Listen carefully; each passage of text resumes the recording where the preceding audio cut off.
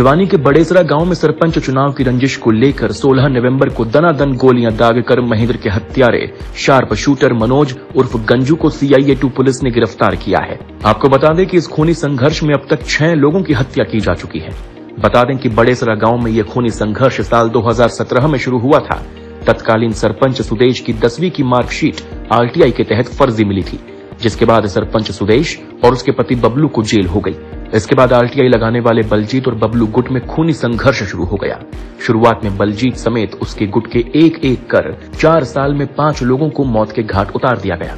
2017 में बलजीत, उसके चाचा भले और ताऊ महेंद्र की हत्या की गई। फिर बलजीत गुट के ही पूर्व सरपंच पवन को साल 2019 में गोली मारकर मौत के घाट उतारा गया। साल 2020 में बलजीत के ताऊ की घर के बाहर गोली मारकर हत्या कर दी गई। इसी 16 नवंबर को बजेसरा गाँव में फिर से खूनी खेल हुआ।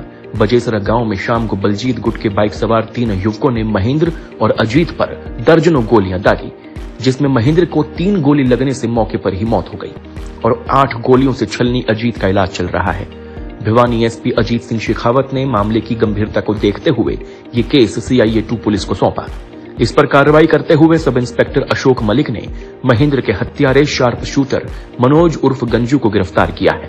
दिनांक 16 ग्यारह दो हज़ार बाईस को गाँव बड़ेसरा के अंदर एक हत्याकांड हुआ, जिसमें एक महेंद्र पुत्र बैराम की मौके पर ही मौत हो गई और दूसरा व्यक्ति अजीत बालिया, पुत्र वज़ीर बड़ेसरा, जो भी गोलीबारी में घायल है, जो फ़िलहाल अभी जिसका उपचार चल रहा है।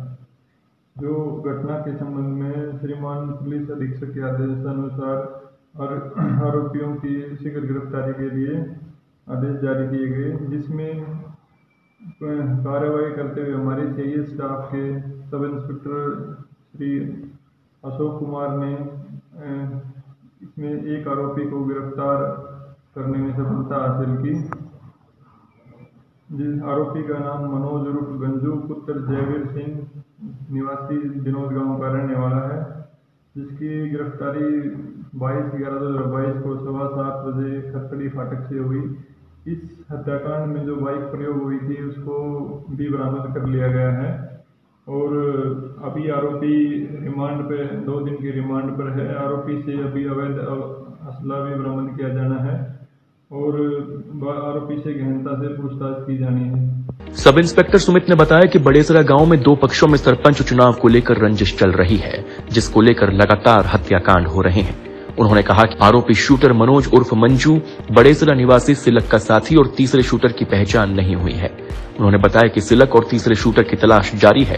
सिलक राम तो बड़ेसरा का ही रहने वाला है जिनके दोनों परिवार की आपसी रंजिश है। तो पहले भी जेल जा चुका है ये जो आरोपी गिरफ़्तार हुआ। ये इसके बारे में भी पूछताछ की जाएगी। अभी फैक्ट पूरे पता किए जाएँगे कि भाई आरोपी के ऊपर पहले कितने मुकदमे दर्ज हैं कितने नहीं। वो तथ्य एक बार कलेक्ट किए जा रहे हैं। आरोपी रिमांड पर है दो दिन की रिमांड पर है। जो भी चीज़ें निकल कर आएँगी वो शेयर कर दी जाएँगी। उसमें दो नाम कौन से हैं सामने जो सुन रहे बताया कि मुगल अभी तफ्तीश जारी है तो अभी भी नाम वगैरह जैसे जैसे सामने आएँगे वैसे बता दिए जाएँगे।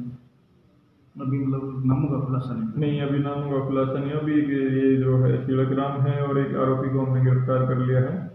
अभी इतने ही नाम सामने आए तो शिलग्राम फरार है हाँ अभी शिलक पुत्र बलेराम अभी फरार है बहरहाल यूँ तो सरपंच चुनाव भाईचारे और गाँव के विकास के चुनाव माने जाते हैं पर बड़ेसरा गाँव में एक ही परिवार इन चुनावों को लेकर ऐसा दो गुटों में पटा कि पाँच सालों में दोनों परिवारों के छह लोगों की निर्मम हत्या हो गई।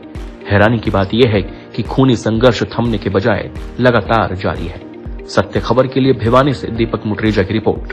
सत्य खबर सत्य सटीक। Be back.